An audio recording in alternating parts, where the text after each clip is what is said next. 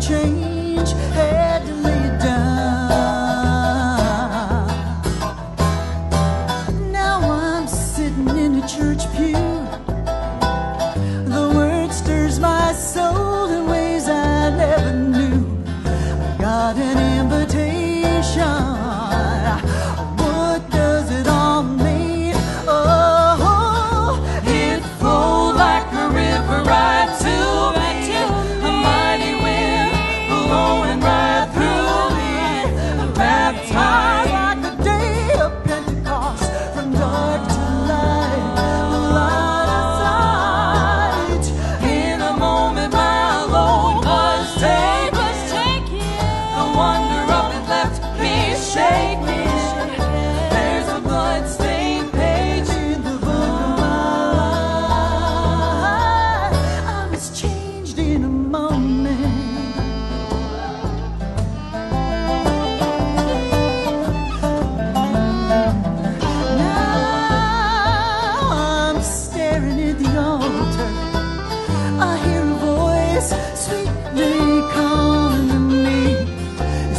and all you seek is just a few short steps away.